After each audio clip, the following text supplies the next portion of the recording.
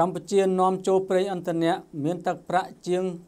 970លានដុល្លារកើនឡើងជិត60%នៅរយៈពេល5ខែឆ្នាំនេះម្សៅស៊ុបឆេฟ55មាន4ខ្នាតសម្រាប់ជ្រើសរើសដូចជា17ក្រាម200ក្រាម400ក្រាមនិង800ក្រាមម្សៅស៊ុបឆេฟ55អាចជួយឲ្យគ្រប់មុខម្ហូបរបស់លោកអ្នកមានរសជាតិឆ្ងាញ់ឆ្ងាញ់ជាប់ចិត្ត ការនាំចូលប្រេងឥន្ធនៈរបស់កម្ពុជាពីទីផ្សារអន្តរជាតិមានតម្លៃជាង971លានដុល្លារអាមេរិកកើនឡើង57.36%ក្នុងរយៈពេល5ខែដើមឆ្នាំ2022នេះនេះបើយោងតាមរបាយការណ៍ក្រសួងពាណិជ្ជកម្មដែលបណ្ដាញព័ត៌មាន TNM ទទួលបាននៅថ្ងៃទី29ខែមិថុនានេះរបាយការណ៍ដដែលនេះបានបង្ហាញថាពីខែមករាដល់ខែឧសភាឆ្នាំ2022កម្ពុជាបាននាំប្រេងឥន្ធនៈមានតម្លៃជាង9 971លានដុល្លារកើនឡើងជាង354លានដុល្លារឬស្មើនឹង57.36%បើធៀបទៅនឹងរយៈពេលដូចគ្នាកាលពីឆ្នាំ2021ដែលមានចំនួនត្រឹមតែជាង617លានដុល្លារប៉ុណ្ណោះនៅក្នុងនោះការនាំចូលប្រេងសាំងមានតម្លៃជាង341លានដុល្លារកើនឡើង103.11%និងប្រេងម៉ាស៊ូតមានតម្លៃ629លានដុល្លារកើនឡើង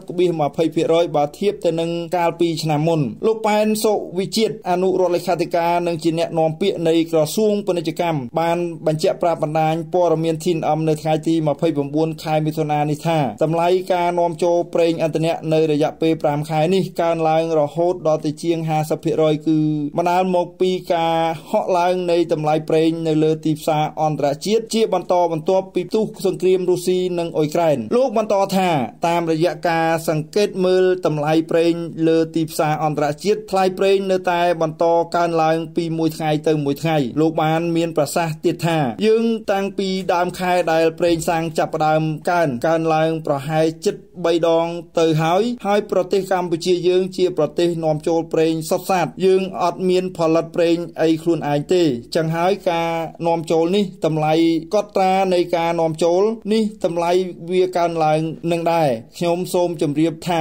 ព័ត៌មានដែលយើងទទួលបាននៃតម្លៃប្រេងអន្តរជាតិដែលហៅថា MOP គឺតម្លៃនេះកើនឡើងជានិច្ចចឹងហើយយើងពិបាកនឹងប៉ាន់ស្មានថាយើងនឹងធ្លាក់ចុះវិញនៅពេលណាពីមួយថ្ងៃទៅមួយថ្ងៃមានការប្រែប្រួលហើយមានការកើនឡើងក៏ប៉ុន្តែមានថ្ងៃធ្លាក់ចុះដែរបើធៀបក៏ប៉ុន្តែវាចុះត្រឡប់មកសភាពដើមដូចមុនពេលមានព្រឹត្តិការណ៍សង្គ្រាមដែរបើតាមអ្នកនាំពាក្យក្រសួងពាណិជ្ជកម្មបច្ចុប្បន្ននេះប្រេងឥន្ធនៈដែលកម្ពុជាប្រើប្រាស់ត្រូវបាននាំចូលពីប្រទេសសង្ហបុរីថៃនិងវៀតណាមបើទោះបីជា